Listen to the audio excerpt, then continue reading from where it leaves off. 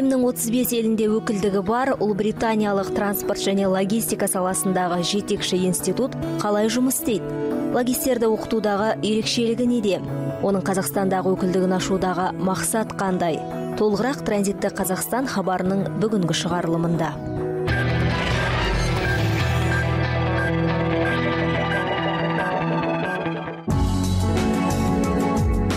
Іргесі жүз жылға таяу уақыт бұрын қаланған ұлыбританиялық CILT институты транспорт және логистика саласындағы білім беру жүйесін жетілдіру және тасымал ісін ілгерілетумен айналысып келеді. Дүние жүзінде оның 33 мыңнан астам мүшесі бар. Халықаралық үлгідегі диплом беретін жоғары деңгейлі бұл институттың филиалы қазақстанда да жұмыс істейді. Осыдан тура бір жыл бұрын мұхамеджан тынышпаев атындағы көлік және коммуникациялар академиясында оның бөлімшесі ашылды. Онда бүгінде он студент білім алып жатыр. Бұл көліктік логистика нарығында мамандардың бәсекеге қабілеттілігін арттырады. Әрі заманауи бағдарламалармен танысуына кең жол ашады. Корольдік институты британия мен еуропа елдеріндегі логистика бойынша кәсіби білім беретін жетекші оқу орындарының бірі.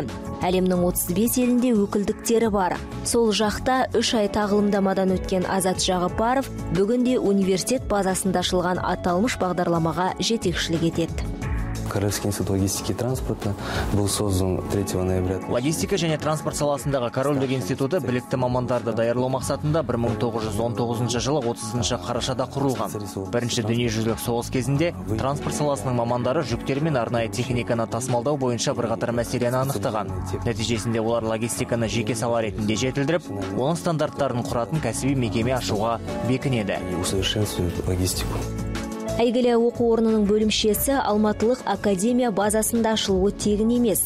Ол тарихы терең көлік және логистика мамандарын даярлайтын еліміздегі бірден бір жоғары оқу орны. 2010 жылы мұнда логистика мамандығы ашылған. Бастапқыда түлектер саны 20-30-дың айналасын деді жылдар өте осы саланы таңдағандардың қатары көбейген. Студенттер академиялық ұтқырлық бағдарламасы бойынша шетелде білім алып ол жақтың тәжірибесімен танысып қайтады. Сонымен қатар еліміздегі жұмыс беруші тараппен де қарым қатынас орнаған. Оқу орны қай мамандық иелерінің жетіспейтінін біліп сол бағыт бойынша да түлектерді дайындайды. Себебі университетті бітірген жастар жұмыс іздеп бос сандалмасын дейді. Первоначально требования мы переговорим с нашим алдымен біз жұмыс берушілермен келісеміз. Бірінші кезекте логистика мамандығы бойынша нарықтың сұранысы қандай соны назарға аламыз. Одан кейін жұмыс берушілермен ақылдаса отырып оқу жылының жұмыс жоспарын құрамыз. Логистер өндірісте қолдану үшін қажет пәндерді біз білім беру жоспарларына енгіземіз. Учебные планы биылғы оқу жылында аталмыш оқу орнын логистика мамандығы бойынша жүзден астам түлек бітірді. Алдағы уақытта барлығы өз саласында жұмыс істей ме ол жағы белгісіз. Бірақ елімізде логистикалық инфрақұрылымды дамытуға ерекше мән беріліп жатыр. Сондықтан логистердің бұл салаға ауадай қажет екені анық. В принципе, логистов как таковых вот у нас с образованием. Көп жағдайда логистикалық білімі бар мамандар тапшылығы байқалады. Шынын айтқанда, қазір біз соған жақын салалардан, оның ішінде экономистерді тартып жатырмыз. Бұл мамандықтың логистикамен байланысы көп. Экономистерге логистикалық қызмет көрсету саласында өз әлеуетін дамытуға мүмкіндік береміз. Сфер, сфер, да, айта кетерлігі бакалаврды тәмамдаған кез келген маман CILT бағдарламасы арқылы білімін жетілдіре алады яғни сіздің қай мамандық иесі екеніңіз маңызды емес алайда ағылшын тілін жетік меңгергеніңіз абзал CLT Казахстан предлагает обучение. Қазақстандағы CILT бағдарламасы алты біліктілік деңгейі бойынша оқу ұсынады. Алғашқы төрт деңгей сертификаттауға қатысты. Бесіншісі логистика мен транспорт саласындағы халықаралық диплом. Ал алтыншысы аталмыш саладағы жоғары диплом. Яғни бұл магистратураның дипломымен теңестіріледі. Қазіргі таңда оқу халықаралық диплом бағдарламасы бойынша жүріп жатыр. Оқу мерзімі 9 ай. Сонымен қатар қалауыңыз бойынша Ұлыбританияда немесе бағдарламаға серіктес елдерде бір айлық тағылымдамадан өтуге болады. В Великобритании или же в странах партнерах. транспорт пен логистика саласында білімін жетілдіріп біліктілігін арттырғысы келетіндер үшін астанада да мүмкіндік бар. Өйткені аталмыш оқыту жүйесі қазақстан темір жолы ұлттық компаниясының еншілес ұйымдарының базасында да ашылған. Мұнда жиырмаға жуық студент білім алады. Қазіргі таңда барлық сала жаңашылдыққа бет бұрып жатыр. Уақыт талабы цифрлық технологиялар болып тұр. Жаңа заманның инновацияларын меңгерген кадр мәселесі де бірінші кезекте.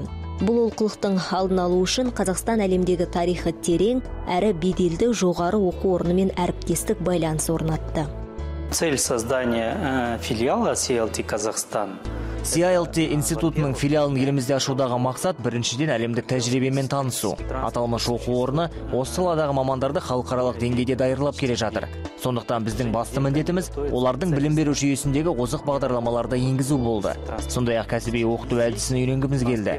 Өйткені қазақстанда мамандарды кәсіби даярлықтан өткізу кең етек жайған жоқ. Не, не так распространен.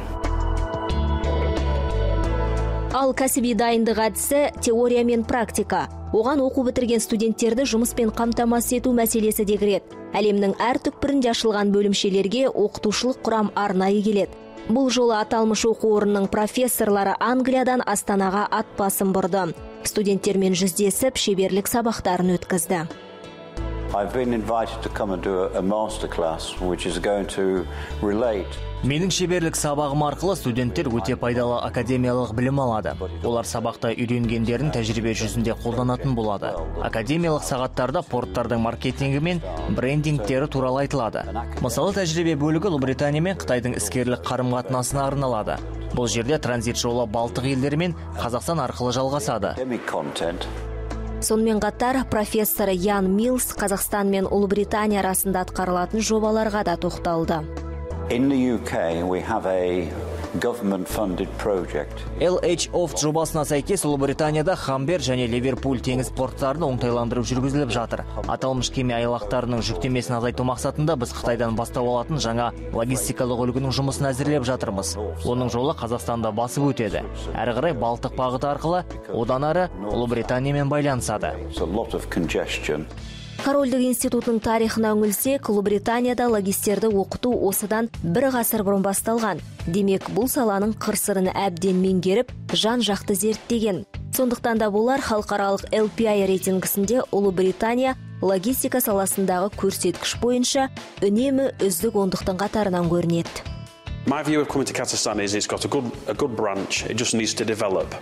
CILT-дің Қазақстандағы өкілдігінің бастамасы жаман емес дегенмен оның ары қарай дамуы үшін көп күш жұмсау керек. Студенттерге арналған көптеген шараны өткізу керек. Сондай ақ логистика деген не тақырыбында жасөспірімдерге арнап таныстырылымдар ұйымдастырып тұрған дұрыс. Аталмыш институтты тәмамдаған кез келген маманның лауазымы жоғарылайтыны даусыз.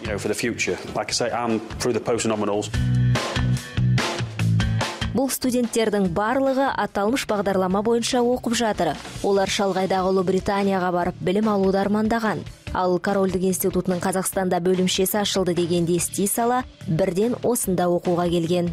Бір жылдың ішінде біраз бір жылдық практикалық курстар болды мастер класстар өткізілді оқу толығымен ағылшын тілінде. Жақ, жалпы транспорт және логистика саласында біраз жаңаша келген та- тақырыптар кездеседі оқуда. Транспорт және логистика саласында біраз жетістіктерге жеткен шетелдің профессорлар келіп өтті.